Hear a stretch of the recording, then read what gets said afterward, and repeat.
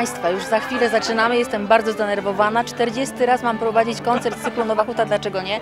Piosenki bardzo różne, każdy ze swojego repertuaru, e, po dwie, w bardzo miłym e, towarzystwie. Czter- 40?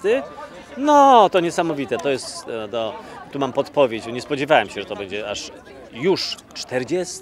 Po raz 40. Samej trudno mi w to uwierzyć. Mam przyjemność Państwa powitać na koncercie z cyklu Nowa Huta. Dlaczego nie?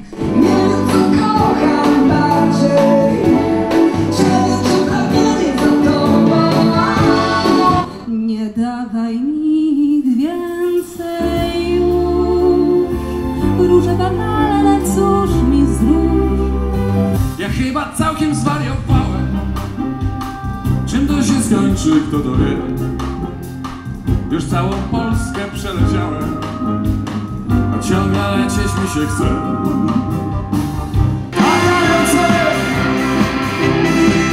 Wciąż lecę, lecę i lecę I odlecę Jak najdalej stąd Ten jubileuszowy koncert odbywa się na terenie przy Zalewie Nowochódzkim. Po raz pierwszy jesteśmy w tym miejscu. Gazety donoszą, że znów pojawił się wariat. Poezja, poezja. Nie dokazuj, miła, nie dokazuj, przecież nie z ciebie znowu taki cud. Nie od razu, miła, nie od razu, nie od razu wtopisz serca mego lód. W moim odczuciu to jest taki koncert, jakim sobie wymarzyła na taki jubileusz. Dla mnie wyjątkowy.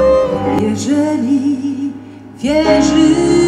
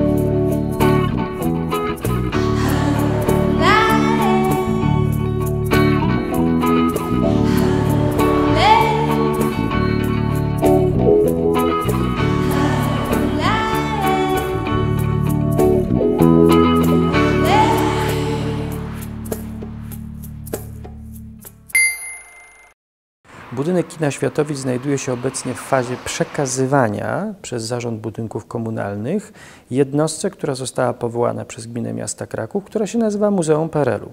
A y, Muzeum PRL-u podlega bezpośrednio y, władzom Gminy Miasta Kraków, dlatego, bo jest to miejska jednostka kultury, aczkolwiek y, współprowadzona, współspomagana przez środki Ministra Kultury i Dziedzictwa Narodowego. Z całą pewnością podstawowa kubatura i bryła budynku, która jest y, rozpoznanym i uznanym zabytkiem sztuki socrealistycznej, pozostanie niezmieniona.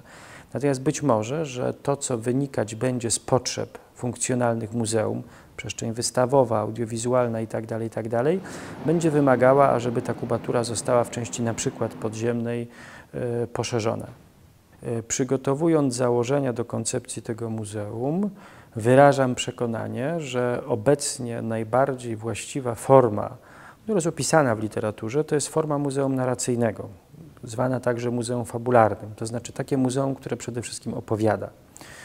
E, To jest opowieść o nieodległej historii, opowieść o tym, co dotyczy bardzo wielu wciąż żyjących w Hucie, w Polsce, e, naszych obywateli.